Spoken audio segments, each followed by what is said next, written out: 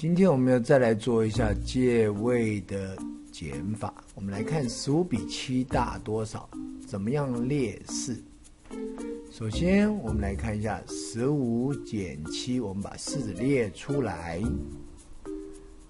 先用积木做做看，十五减七，五够不够减七？看个位数的五。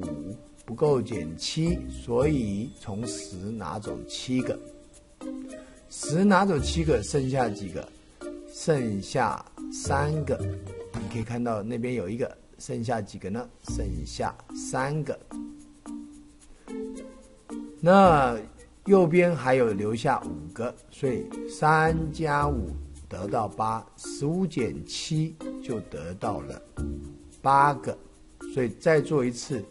十五减七的动作，我们来看一下，十五可以分成十和五，